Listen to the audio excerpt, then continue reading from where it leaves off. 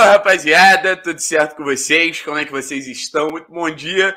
Chegou nossa sexta-feira velha de guerra e a gente tá aqui para falar de Furacão como todos os dias, porque o canal 3 Pontos é assim, conteúdo o dia todo, todos os dias, e a gente vai falar sobre um período que ainda vem, um período que vai ser muito intenso pro Furacão e naturalmente vai ser muito intenso para nós torcedores e vai ser muito intenso aqui no canal basicamente os próximos 40 dias. Se a gente marcar um relógio aqui, 5 de novembro de 2021, faltam exatamente 40 dias para o fim da temporada. Dia 15 de dezembro de 2021, o Atlético vai estar entrando em campo para jogar o seu último jogo da temporada, entrando em campo na Arena da Baixada, entrando em campo pela segunda final da Copa do Brasil. O jogo de volta, o jogo de ida já vai ter acontecido, então vai estar tá ali, graças a Deus, brigando por um título, né? Que coisa gostosa terminar a temporada assim, com uma decisão, já tendo disputado outra. A gente não está falando decisão de Paranaense, a gente está falando decisão de Copa Sul-Americana. Então, o que, que eu venho trazer aqui? Qual é o debate que eu venho trazer aqui? Vamos analisar o que vem pela frente. São basicamente ali três dias para cada jogo, sabe? Se a gente não for é, entender que em algum momento algumas pausas vão ter que acontecer para alguns jogadores, alguns jogadores vão ter que ser poupados, porque é impossível você jogar essa quantidade de futebol nesse período. É basicamente você pedir para o cara não descansar o corpo dele, que é a ferramenta de trabalho, sabe? Imagina lá, um jogador, sei lá, como Nicão. Cara, um jogo a cada três dias, sendo que tem jogo pra cacete, sendo que tem 12 jogos ainda, pô, velho, é, é, é, realmente muita coisa. Mas eu resolvi desse, é, separar esse vídeo em três. Primeiro a gente vai falar de Campeonato Brasileiro, depois a gente fala de Copa Sul-Americana, depois a gente fala de Copa do Brasil, depois a gente faz um apanhadão para encerrar. E começando falando de Campeonato Brasileiro, é talvez o, a situação mais indigesta do Atlético, né? É certamente o lugar que, que o atleticano não gostaria de estar. É muito legal disputar a Copa, o desempenho nas Copas é outro completamente diferente, é um grande desempenho.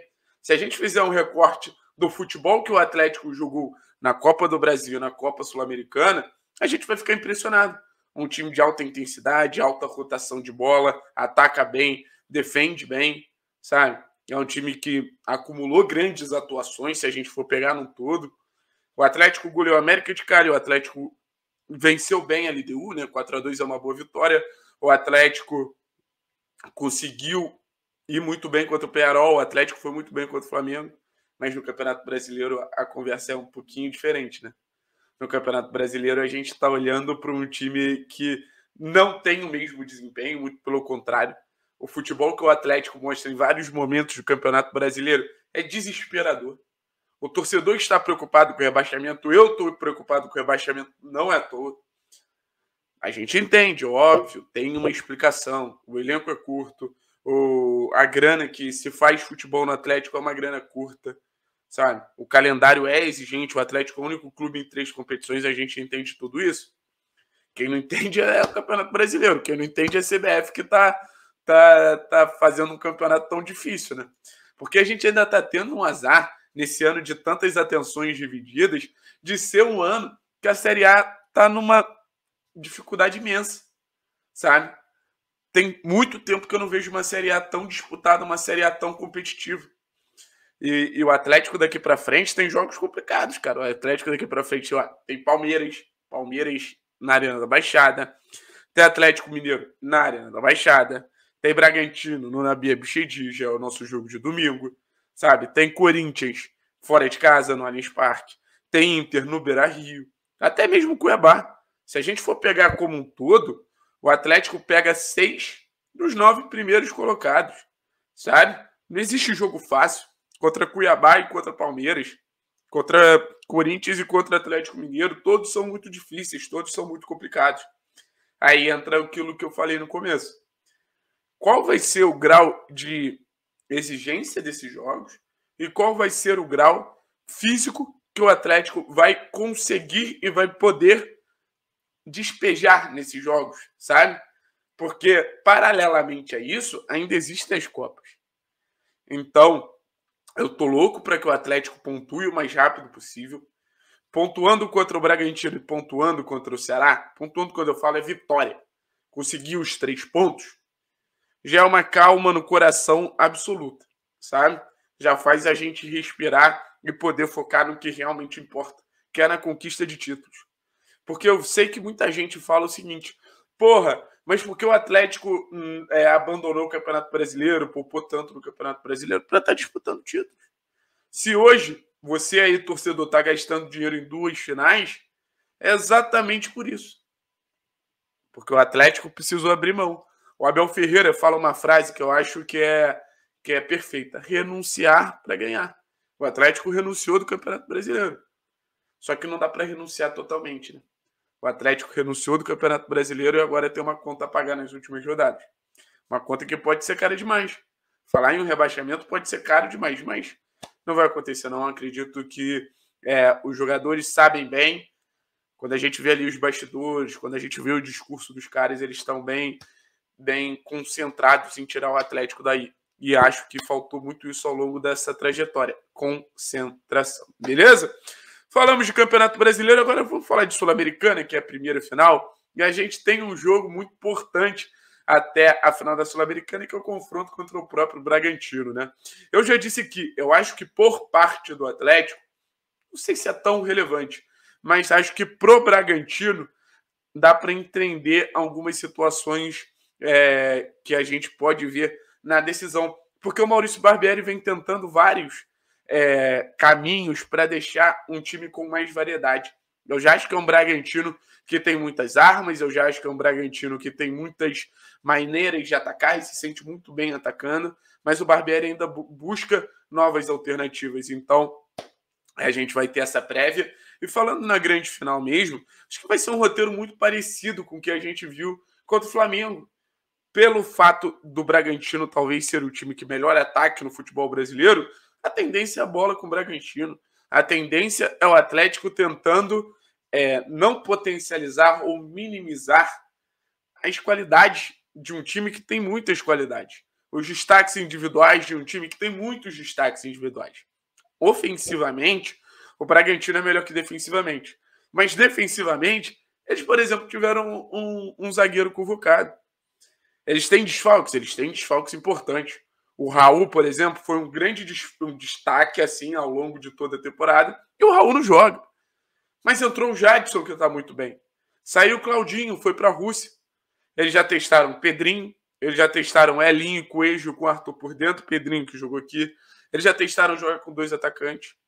É um time que, que tem muitas alternativas e a gente vai entender se o Atlético vai conseguir minimizar todas essas qualidades e principalmente no momento que o Atlético tiver em fase ofensiva, ser certeiro, ser eficiente, ser eficaz, porque no momento decisivo a gente sabe que isso é muito importante. E ao longo da trajetória da Copa Sul-Americana, o Atlético foi eficiente, o Atlético foi decisivo, o Atlético foi eficaz. O confronto contra o Penharol deixa isso muito claro. Já ter aberto o, o placar e uma vantagem lá no, no Uruguai, lá em Montevideo, foi algo que fez o Atlético chegar muito mais tranquilo é, no confronto da Arena, sabe? Então, o que eu trago para vocês é cabeça fria, porque decisão exige muita mentalidade. E a mentalidade, eu acho que é o principal fator que separa Atlético e Bragantino a favor do Atlético, né? Porque o jogo tem quatro fatores: físico, técnico, tático e mental. Físico, acho que o Bragantino chega mais descansado até por toda essa maratona que a gente falou em relação ao próprio Atlético. Tático. Acho que o Barbieri tem um, um maquinário tático, uma variedade tática muito interessante. Acho que o Atlético também sabe se portar muito bem taticamente. Técnico.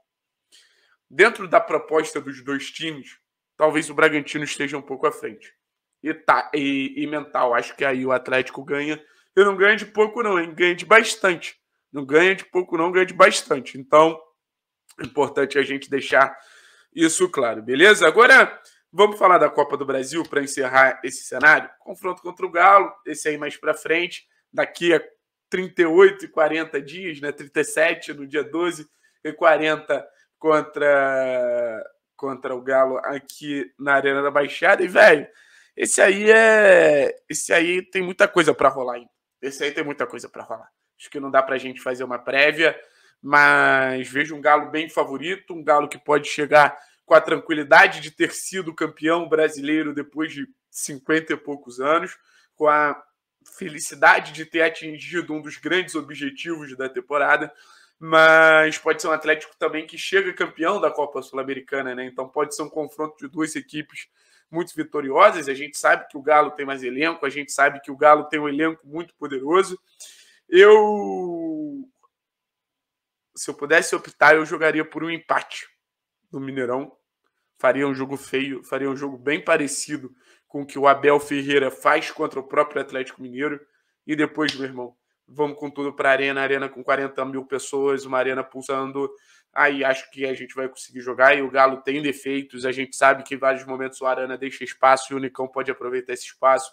A gente sabe que em vários momentos a zaga do Galo falha e o Kaiser e o Bissoli estão ali para aproveitar.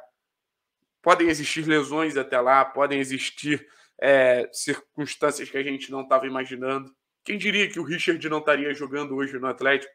Um jogador que foi titular ao longo da temporada inteira. O futebol é muito dinâmico, o futebol muda muito sabe? E esse eu acho que a gente tem que esperar um pouquinho antes de falar. Mas vão ser 40 dias muito gostosos, muito bom estar tá encerrando a temporada assim, cheio de decisões, cheio de momentos realmente para a gente comemorar. E eu convido vocês todos a acompanhar esses momentos aqui no canal Três Pontos, porque a gente vai estar tá em Belo Horizonte, a gente vai estar tá em Montevidéu e a gente vai estar também na Arena da Baixada. E eu quero conhecer vocês pessoalmente na Arena, hein? Pelo amor de Deus. Tamo junto. É nóis, viu?